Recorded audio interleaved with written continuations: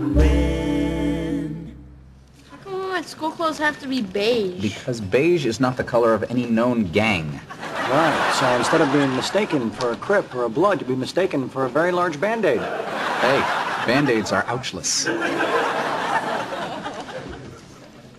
Oh, oh, excuse me, excuse me, there's a, a line. Yeah, I just got a couple things. Well, I, I can see that, but it's not really based on quantity of items. It's more of a we were here before you kind of deal. You gonna make a thing out of this?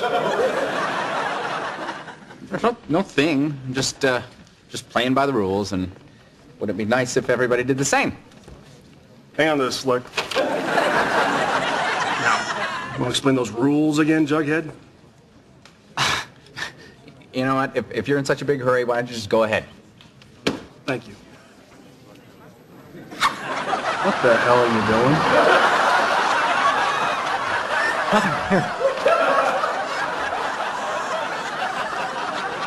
no, no chicken. Just good common sense. Fighting accomplishes nothing. Oh, I didn't know you were so French.